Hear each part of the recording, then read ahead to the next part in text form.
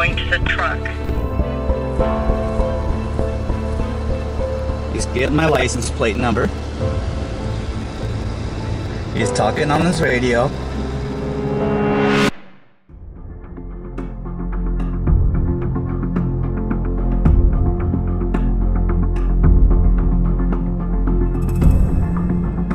Islamic Mosque in Bloomington, Minnesota is one of the most controversial mosques in America and the largest one in Minnesota.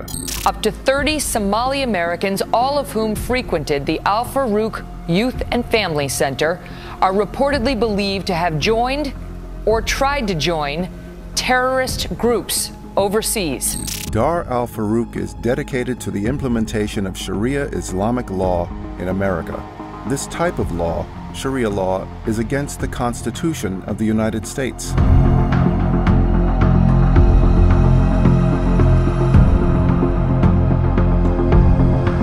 To begin with, the head of the mosque is an imam trained in Egypt and Saudi Arabia. Walid al Manis is one of the most dangerous imams in America. He openly preaches Sharia and issues fatwas. Fatwas are public judgments the imams issue which allow any Muslim who accepts the authority of the imam to carry them out, including death penalties.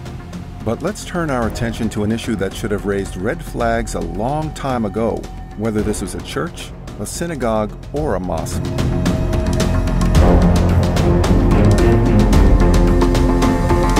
To be more specific, the mosque has been violating city code since it took possession of the property in Bloomington.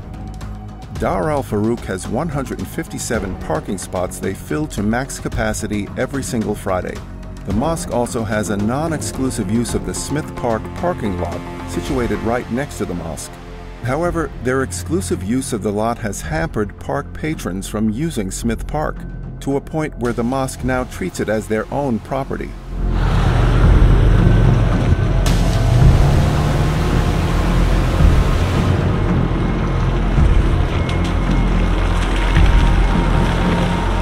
According to the city policy, parking in and around the neighborhood is only to be used for special occasions and only a few times a year.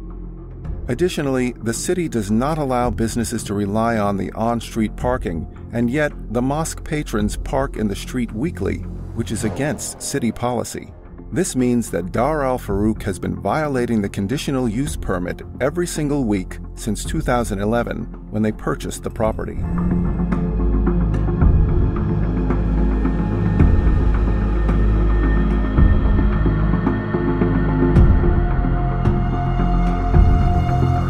Bloomington City Council has turned a blind eye to the violations of the mosque, and local residents have all but given up trying to have their voices heard.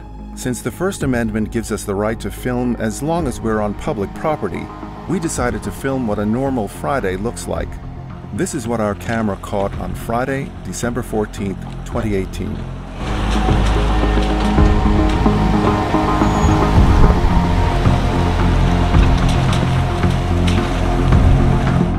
You are seeing is in fact happening every single week.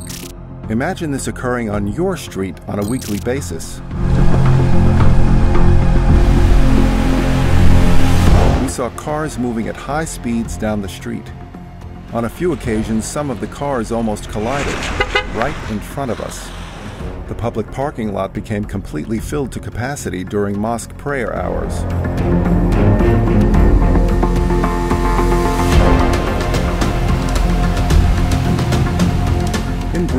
None of this should be happening under the conditional use permit that Dar al Farooq must abide and comply with. But what we weren't prepared for was the reaction of the Muslims asking us, Are you allowed to film? Where do you have allowance to do this? Why you have to film? You have a right to do this? Our response? Yeah, it's called the First Amendment. You heard of it? We are standing on public property and absolutely have the right to document what's happening here every single Friday at Dar al Farooq. Not me. You can Yep. you can picture away. anything you If want. If you're filming, go away. It's I'm gonna public call the. I'm gonna call the police. Why? It's Yeah. public property. I don't care. You don't care? Okay. Can you imagine any church violating their conditional use permit like this on a weekly basis?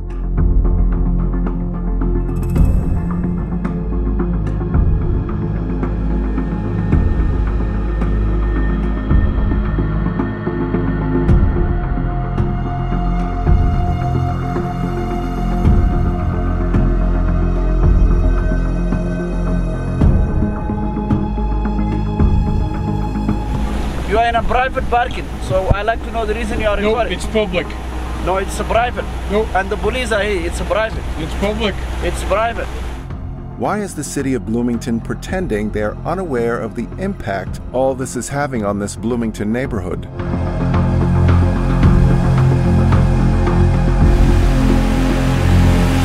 Local residents are moving out. They've grown tired of being ignored, ridiculed, and belittled by a mosque breaking city code on a weekly basis. The intense use of the property has brought dangerous levels of traffic that includes dangerous speeds. The neighborhood has also seen crime increase. Many people are frustrated with a city council bending over to accommodate the Muslims in the name of political correctness. Fear has silenced a good number of people. So, again, do we have the right to film? Yes, we will film and report on future mosque violations.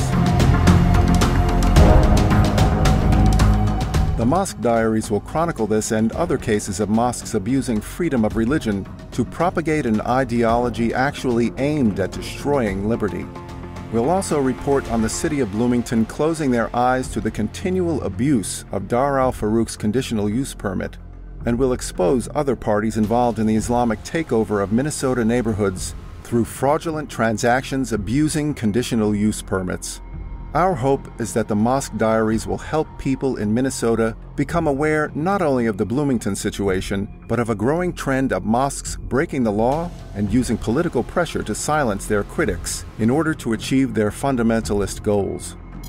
Okay, if you refuse to identify yourself, you can be arrested. Do you understand that? I'm here to investigate a possible crime. I'm here to identify you as part of that possible crime.